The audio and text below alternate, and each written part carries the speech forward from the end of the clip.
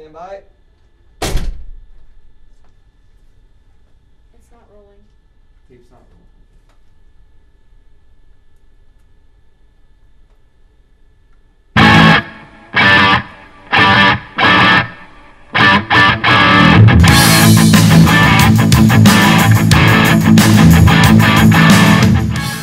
Good morning. Today is Tuesday, February 9th, 2016.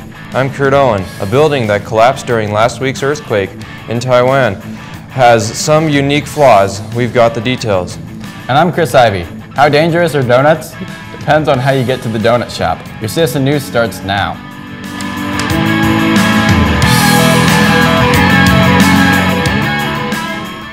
Seniors, it's FAFSA time. Need assistance with your FAFSA or have any questions about FAFSA? Bring your parents if possible and come out tomorrow night, Tuesday, February 9th from 6 to 8 p.m.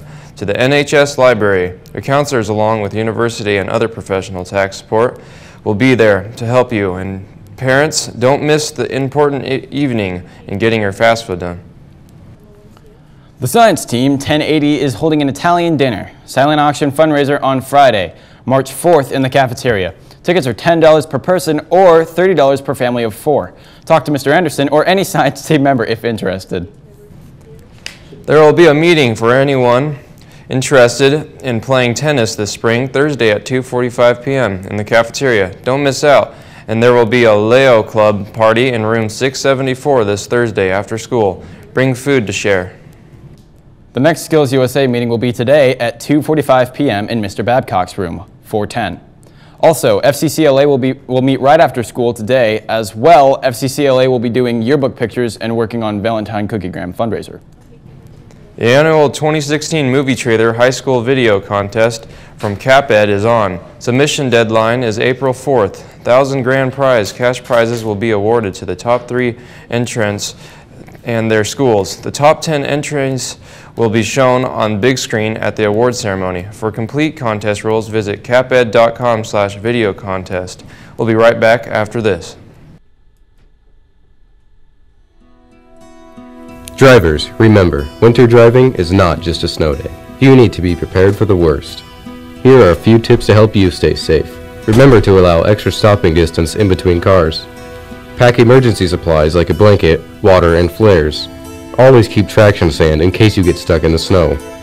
With these tips in mind, you can stay safe this winter.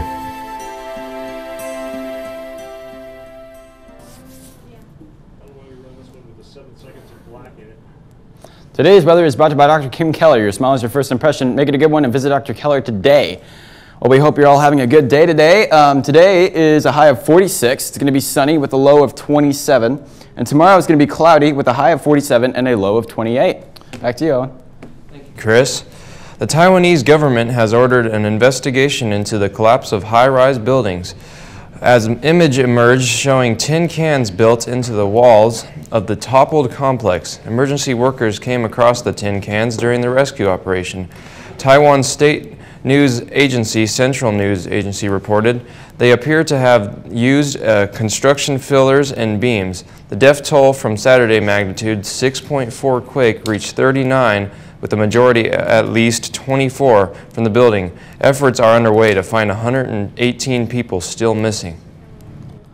Well, a man has died after starting a relay race in which contestants are supposed to eat a dozen Krispy Kreme donuts midway through the competition. Organizers of the annual Krispy Kreme Challenge said in news release that a 58-year-old man dropped out of the race during the first mile Saturday morning because of his chest pains. He was pronounced dead at a nearby hospital. The unidentified runner left the race before reaching Krispy Kreme location, at which some competitors eat a dozen donuts before completing the final two and a half miles of the five-mile course. Today's SAT word of the day is precedence, um, which means initial ruling that sets a standard proceeding example. You could use it this way. The judge com- combed through legal records for a days but could find no precedence in for the usual case she was about to decide. Thanks for watching. Remember, if the news breaks, We'll fix fix it. it.